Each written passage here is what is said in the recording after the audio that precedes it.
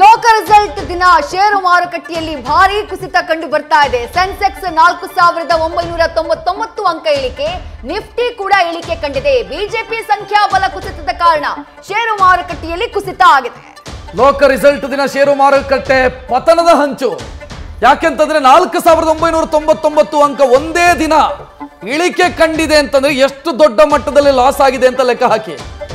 ನಿನ್ನೆ ಯಾವ ರೀತಿ ರಿಯಾಕ್ಟ್ ಮಾಡಿತ್ತು ಅಂತಂದ್ರೆ ಷೇರು ಮಾರುಕಟ್ಟೆ ನಾಳೆ ದಿನ ಬಹಳ ದೊಡ್ಡ ಬೂಸ್ಟ್ ಆಗತ್ತೆ ಅಂತ ಎಲ್ಲರೂ ಅನ್ಕೊಂಡಿದ್ರು. ಬಟ್ ಇವತ್ತು ಷೇರು ಮಾರುಕಟ್ಟೆ ಬಿದ್ದ ಪೆಟ್ಟು ನೋಡ್ತಾ ಇದ್ದೀರಿ ನೀವು. ಇದರ ಮುನ್ಸೂಚನೆ ಏನು ಅಂತಂದ್ರೆ ಒಂದು ಅಸ್ಥಿರ ಸರ್ಕಾರ ಬಂದಾಗ ಇನ್ವೆಸ್ಟರ್ಸ್ ಇನ್ವೆಸ್ಟ್ ಮಾಡೋದಕ್ಕೆ ಹೆದರ್ತಾರೆ.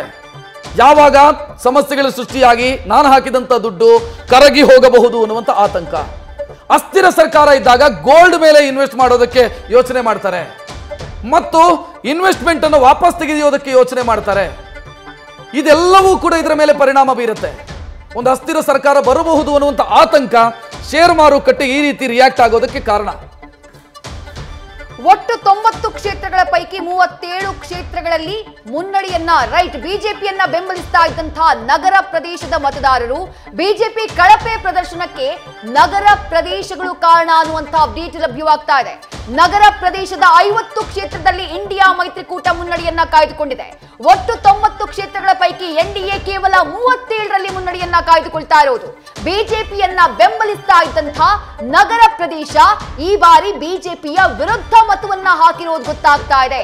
ಐವತ್ತು ಕ್ಷೇತ್ರ ನಗರ ಪ್ರದೇಶದ ಐವತ್ತು ಕ್ಷೇತ್ರದಲ್ಲಿ ಇಂಡಿಯಾ ಒಕ್ಕೂಟ ಮುನ್ನಡೆಯನ್ನ ಸಾಧಿಸಿದ್ರೆ ಕೇವಲ ಮೂವತ್ತೇಳರಲ್ಲಿ ಎನ್ಡಿಎ ಮೈತ್ರಿಕೂಟ ಮುನ್ನಡೆಯನ್ನ ಸಾಧಿಸಿದೆ. ಬಿಜೆಪಿಯನ್ನ ಬೆಂಬಲಿಸ್ತಾ ಇದ್ದ ನಗರ ಪ್ರದೇಶದ ಮತದಾರರು ಯೂ ಟರ್ನ್ ಹೊಡೆದಿರೋ ರೀತಿ ಕಾಣಿಸ್ತಾ ಇದೆ.